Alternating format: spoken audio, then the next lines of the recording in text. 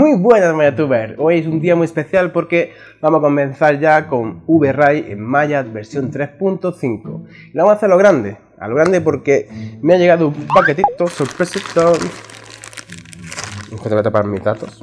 Bueno ya luego lo pisaré. Sorpresita, y vamos, ¿qué contiene dentro? vamos a ir abriéndolo, este es el primer unboxing y creo que va a ser el último de licencia porque es, un retraso, como digo ella Tienes que traer esto por aquí y pagar los portes, en fin, todas esas cosas. Dentro otro paquetito, ¿vale? Aquí está el paquetito. Y nada, trae. Está muy bien protegido, está bastante bien. Vamos a abrirlo. Y ahora que nos encontramos dentro, un palitroque llamado pendrive o dongle, ¿vale? Voy a intentar acercarlo porque creo que trae el logotipo de VRide no sé si se verá bien. A ver, se enfoca. Ahí, ¿lo veis? Bueno, pues esta es la licencia educacional de VRAI 3.5 para mayo. Bueno, versión 3, ¿vale? Y estoy muy contentito porque voy a poder utilizar tranquilamente durante todos mis vídeos ya el VRAI 3.5 para enseñarlo a vosotros y que voy a aprender. Esto lo pago en mi bolsillo, luego lo explico dentro del vídeo cómo ha sido pero hay una cosa que me da mucha rabia. ¿sí? La rabia es que eh, resulta que eh, a partir de la versión 3.5, no sé si también la 3.4 de VRI, eh, las licencias pueden ser online y offline, ¿no? Pues no sé qué pasa en España, que en España a lo mejor compramos poca licencia, es culpa de los usuarios que no compramos, y la empresa han previsto una gran cantidad de Vivu, se llama Vivu, es un dongle en pendrive, ¿no? Y a lo mejor tienen exceso y hasta que no se agoten no podremos tener la licencia de online. Por lo tanto, hay un sobrecoste, ¿vale? Porque en principio son 75 euros según Chaos Group. Supongo que tenía que sacarse un beneficio de la empresa, mal IVA. Pues yo pensé que sería unos 100, pero va a salir por unos 135 euros, ¿vale? Entre portes, IVA, 21% de España, cabroncetes. Em, y eso, entonces pues yo creo que un retraso pues tiene que ser online y simplemente pues pagar lo que es licencia y no pagar ni el dongle, ni el, pendrive, ni los portes, ni nada, ¿vale? Así que nada, vamos a meternos de lleno con el tutorial. Primera toma contacto, os voy a enseñar cómo se instala, em, o lo pongo por aquí, o lo que tiene el vídeo, os voy a enseñar cómo se instala em, la licencia online, la offline, o sea, cómo se activaría la offline, y eh, la dongle, y luego voy a hacer una prueba y una pequeña review muy rápida de un minutito de lo que cosas que traen en comparación con la 3.10, ¿vale? Porque la 3.4 nadie la ha tocado porque no está pirata. ya sí, ¿eh? Pero yo no sé nada y yo no he dicho nada, ¿vale? Yo os apoyo y recomiendo que uséis versiones piratas para aprender y una vez que sepáis, compré vuestra licencia y para adelante. Sí, señor, como hemos hecho todo. Yo me incluyo, ¿eh? Así que nada, youtubers, un abrazo muy grande y al lío, que me enfrío. ¡Chao! Muy buenas, youtubers. Como veis, tengo el escritorio lleno de mierdecita y de cositas, ¿vale? ¿Por qué? Porque estoy probando eh, la versión 3.5.2 y la versión 3.10 de VRI y comparándola, ¿vale? Voy a hacer un vídeo donde voy a explicar una serie de cosas y pues quiero pues, que la veáis. Pero antes de nada, es que yo no he encontrado ningún tipo de información, como habéis podido ver, ya tengo aquí mi licencia educacional de VRI y tanto ni Chaos Group que le he escrito como unas cuantas veces, ni eh, la empresa que me ha vendido eh, eh, ahí el Pendrive y la licencia, que lo he pagado de mi bolsillito, ya que no tengo anuncio en el canal, si aún ya pongo anuncio en el canal, será para comprar licencia y cuando tenga licencia, los quito y fuera, ¿vale? No para mi beneficio propio, sino para seguir avanzando para vosotros, ¿vale? Bueno, dicho eso, no hay ningún tipo de tutorial, no me han sido ningún tipo de tutorial, ningún tipo de guía, ni en inglés, ni en chino, ni en ruso, ni en mandarín se han pasado de mí olímpicamente un poquito, la verdad. Voy a decir que no, ¿vale? Todo muy automatizado y fuera, ya está. Y claro, yo me tengo que romper un poco los cuernos para ver cómo funciona. Eh, entonces, eh, os lo voy a intentar explicar en unos pasos muy rápidos, ¿vale? O sea, cuando te bajas el paquete de VRI Trial, por ejemplo, te trae eh, lo que es el VRI y la licencia, ¿vale? Importantísimo. La licencia más actual, que creo es la versión 4, no sé qué, ¿vale? Porque muchas veces si tú estabas dentro de la página web de VRI de Chaos Group, te dice que necesita para este VRI necesita la licencia tal, ¿no? Te la puedes descargar independientemente, ¿vale? Y luego para el Edu, te trae también el WK, eh, WK ¿vale? Que significa eh, para que te pueda funcionar ese pendrive porque me ha traído aquí, mm, aquí la mensajería, que es un BBK, ¿vale? Para, es un tipo de pendrive que realmente lo que hace es que lleva la licencia dentro, ¿vale? Muy sencillito. Pues instalaría esto, ¿vale? Primero, el VRAE.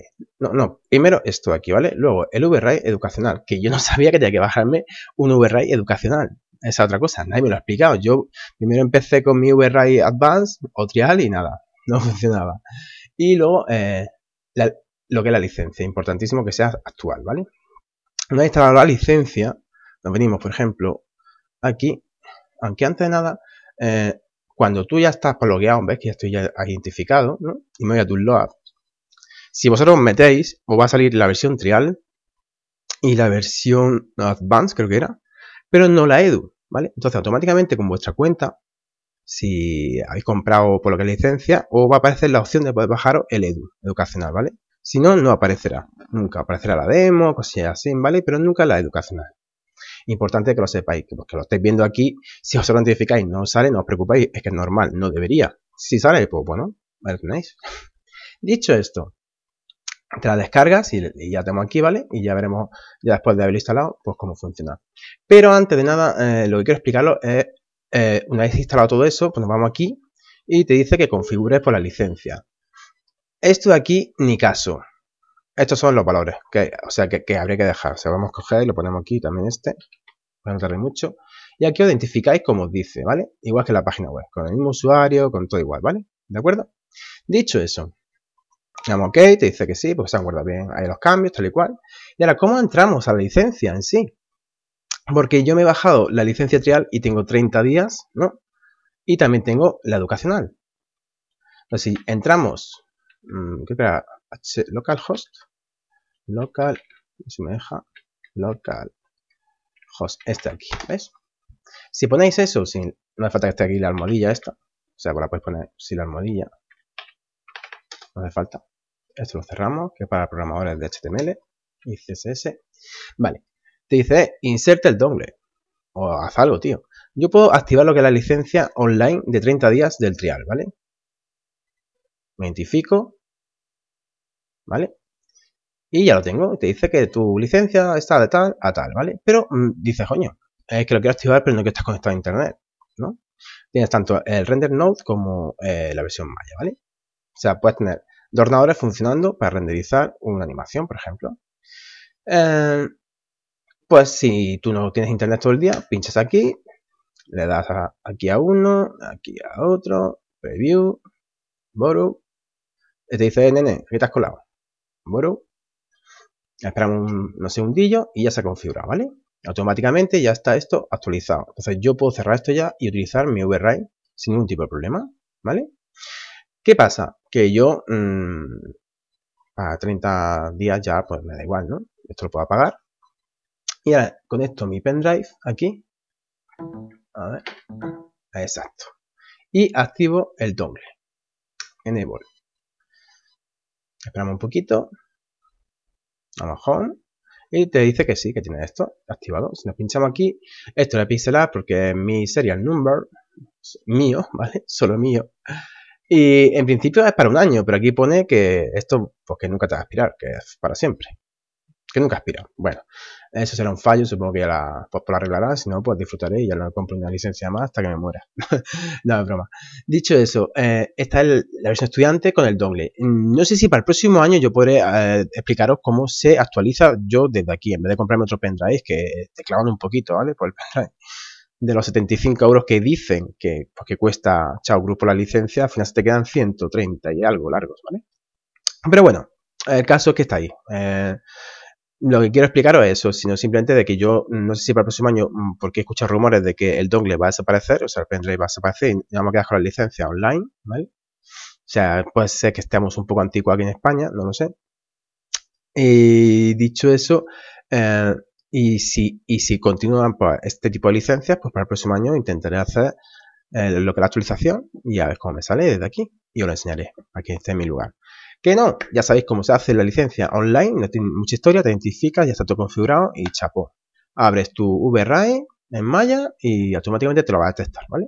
Y si no tienes conexión, lo puedes o sea, configurar para que cuando estés con conexión a internet funcione. O sea, está bastante bien, ¿no? Está chulo, ¿no? Bueno, dicho eso, ahora nos vamos a meter en, el siguiente apartado, ¿vale? Que va a ser la comparación del 3.10 y el 3.5 comentó un compañero, un suscriptor, que hay, o sea, que ya está pirateada la versión 3.4. Yo no recomiendo que lo uséis, pero bueno, para aprender está muy bien, siempre y cuando no vendáis lo que estéis consiguiendo con ese, o sea, pues con esa versión, ¿no? Pero podéis utilizar la versión 3.4 vosotros a partir de ahora que tiene muchas mejoras desde el de Noiser hasta muchas más cosas, ¿vale? Pero bueno, eh, vamos a compararla con la versión 3.10, que ha sido la más utilizada desde todos los tiempos en Maya, a la versión 3.5, ¿vale? Entonces, primero nos vamos a ir a la versión de Maya 2016. Tengo instalada aquí eh, la versión 3.10 y eh, la versión 3.52 de V-Ray la tengo instalada en 2017 en Maya, ¿vale? Entonces, para que veáis que está configurado todo igual, yo le he dado un render a ambos, lo voy a hacer luego un montaje eh, para que se vea a la vez, ¿no? Y si tarda mucho el render, pues lo aceleraréis, si no, pues dejar el tiempo real, ¿vale? Yo me voy a callar porque entre medias se me pueden recortar, no sé si os iré comentando cosillas, pero y luego pues lo montaré, ¿vale? Dicho eso, vamos a hacer el render y ahora pues lo vemos, ¿vale?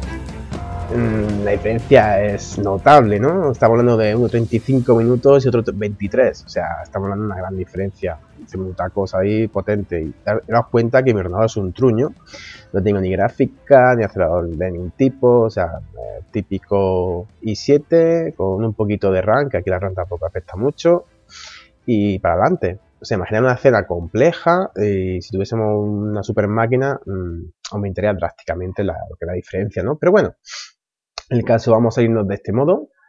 Ahí, eso es. Y eh, fijaros que, que a, partir de ahora ya podemos utilizar tranquilamente lo que sería el más con V-Ray. Porque el problema ya de actualizarse no es simplemente el hecho de decir, oh, es mejor o es peor. No, no, no. El hecho de actualizarse, que es muy importante, vamos aquí al 2027, que no se me da la impresión que han mejorado el viewport 2.0. Fijaros aquí, que se ve como una onda, ¿no? Y aquí, muy lícito, muy suave, ¿no? Bueno, que lo que me refiero, que aparte de lo que es actualizarse, no simplemente el hecho de decir, oh, es que es mejor o es peor, no. Es que eh, desde la versión 2016 de Maya, eh, de extensión 1 o 2 hacia atrás, podíamos utilizar VRAI de ahí hacia adelante, ¿no? Por lo tanto, no tenemos la posibilidad de utilizar el Mesh y hacer tutoriales con más con VRAI que esto es un paso muy grande. Y aparte de eso, hay una mucha, bueno, hay muchas mejoras, ¿no? Yo como no he utilizado la versión 3.4, mm, yo ya he estado trasteando un poquito lo que es el, el de Noise, por ejemplo, que se activaría para las animaciones, se activaría desde aquí fuera. Os recomiendo hacerlo desde fuera, será más rápido. Ya un día haré un tutorial sobre esto, que es muy importante. Eh, y desde dentro se activaría aquí, ¿vale? Cogeremos esto, si cogemos esto de aquí y le hacemos remove, ¿no? Y cogemos desde aquí y decimos, añadimos, toma, un render element nuevo que se llama de noiser y aquí lo dejaríamos por defecto. Hacedme caso que inicialmente mejor que lo dejemos por defecto, ¿vale? Pero bueno, en fin, todas esas cosillas. Y por último, explicaros que hay otro fallito, por ejemplo, mm, en las luces, ¿no? Si nos venimos aquí a las luces de VRay, una rectangular, por ejemplo, esta aquí, ¿no? El fallito este del ruido, si yo le meto más subdivisiones, pues no va a hacer ni caso. No se suaviza, sigue estando el mismo ruido. Supongo que eso es por culpa de Arnold. Ya os comenté al principio que supuestamente creo que lo van a solucionar. Y también, mm, una chorrada, pero tenemos la posibilidad de decir que sea un disco o un rectángulo. La luz rectangular, mucho mejor, ¿no? Ah, bueno, yo creo que eso es para los que utilizan para interiores y quieren poner lámparas circulares o plafones o, luces, bueno, en fin, que viene muy bien, ¿vale? Mm, mm, por ejemplo, por ejemplo, Fall Off de V-Ray. Aquí lo tengo, tío con mi de esto, todo igual que el de 3D más, así que ya, chicos y chicas, profesionales, arquitectos, ingenieros, CG artists, lo que queráis, ya no tenemos que intentar imitar. Nuestro propio fall-off gracias a Uberray, ¿vale? En la versión 3.5 está. La 4 no lo sé porque no lo he visto, ¿vale? O sea, ten en cuenta que yo me salto una serie de versiones, ¿vale? Pero que sepáis que está ahí, ¿vale? Así que esta ha sido la primera toma de contacto y cómo se instala con la licencia de eh, estudiante, que es muy importante porque por 100 eurillos más o menos, 100 dólares, eh, tenemos asequible las, todas las versiones actuales para, pues para VRAI y Maya. O sea, está muy bien, bueno, Maya y 3D Studio y cualquier otro programa. O sea, está bastante bien, ¿vale? Y muy sencillo de instalar. Ya he hecho un tutorial sobre ello para los que nunca lo han visto. Bueno, de hecho yo no he encontrado nada. Ahí, ahí lo dejo. Y esta creo que ha sido uno de los primeros. Bueno, el caso, que espero haber sido de gran ayuda. Si conoces a alguien que este material le pueda ayudar o le puede interesar, compártelo. Y nada, si os ha gustado el vídeo, un like y suscribiros. Que contra más suscriptores, más apoyo. Que por cierto, estamos subiendo muchísimo. Y esta semana, bastante. ¿eh? Así que nada, más muchísimas gracias y hasta la próxima. ¡Chao!